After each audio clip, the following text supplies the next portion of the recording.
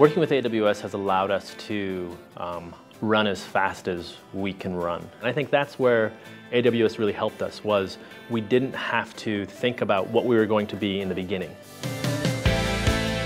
My name is Harper Reed.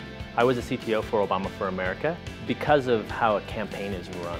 It's much different than a normal organization. We start very small, we grow very big, and then we go back to very small. And the spikes, you don't know when they're going to happen. What happened more often than not was the president would say something. He would say, and go make calls at calls.barackobama.com. And then suddenly we'd have an influx of 30,000 people or more clicking on a link on their phone after the president just told them to. When we started thinking about how the technology was going to scale, we looked at a lot of the different providers out there, and we noticed that there was one that stood out amongst all the others, and that was AWS. It allowed us to have a technology partner that matched our scaling internally with our organization and with our technology. It was a good match of what we wanted to do and what we needed to do. What separated us from 2008 and 2012 was we tried to create an opportunity for people to participate in the campaign online. We couldn't have supported the amount of traffic that we got as it ramped up because this was the ultimate hockey stick. We went from, you know, a small number of visitors, small number of visitors to, oh my God, we have all the visitors. And very quickly, in actually three days.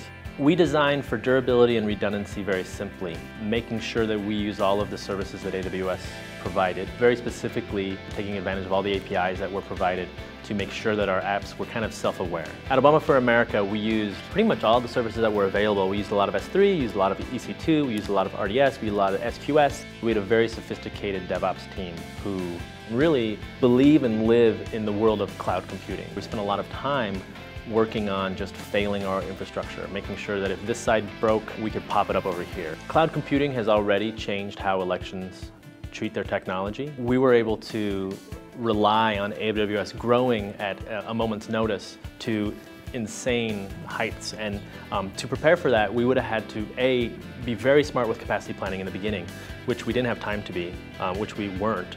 Um, and B, it, we would have had to spend so much money to support this from the beginning. Usually there's some pivot point where you move on to the next provider where you, you need to run faster. We haven't reached that point where there's a limit. I don't think there's a way to go back. Um, I think we can only go forward.